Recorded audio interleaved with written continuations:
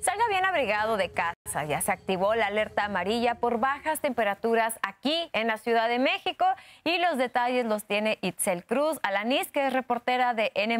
Itzel, muy bueno, pues ahí están las recomendaciones ante estas bajas de temperatura para evitar también sobre todo enfermedades. Y bien, hoy viernes 24 de noviembre no circulan los autos con placas que terminen en 9 y 0 que porten engomado en color azul y que cuenten. Y esta información también la encuentras en Este noticiero de N+, también lo puedes ver en vivo en VIX. Entra a tu app, selecciona noticias y busca N+.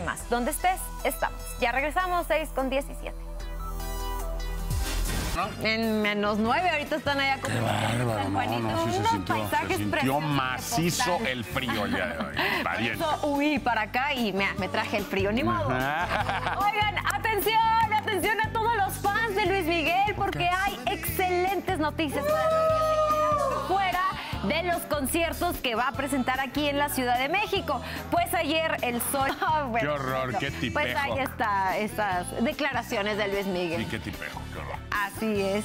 Pues es que está enojado. Ah, está sí, pero no, oye, ve el dinero que te. Oye, no tuvieras dinero, dices, oye, voy a chambear. ¿Qué? Pero estás está lleno de dinero y no, no La puedes. estadía de Luis Miguel aquí en México para que no se le vaya. Entonces, No, no, obviamente, no. todo Pobre Araceli, está manteniendo a los niños cobarde no le pasa ni a sus hijos. Ya, Qué tranquilo, horror. ya, No, no. tranquilo, Es que es para que lo tranquilo, arresten. ya, a otro ya. señor que no fuera famoso por no hacer eso, lo arrestan y lo meten en la cárcel. Pero como él es famoso, no le hace nada. Ya, ya se enojó, ya se enojó Rey por mejor. Sí, oye, los niños son sagrados. sol.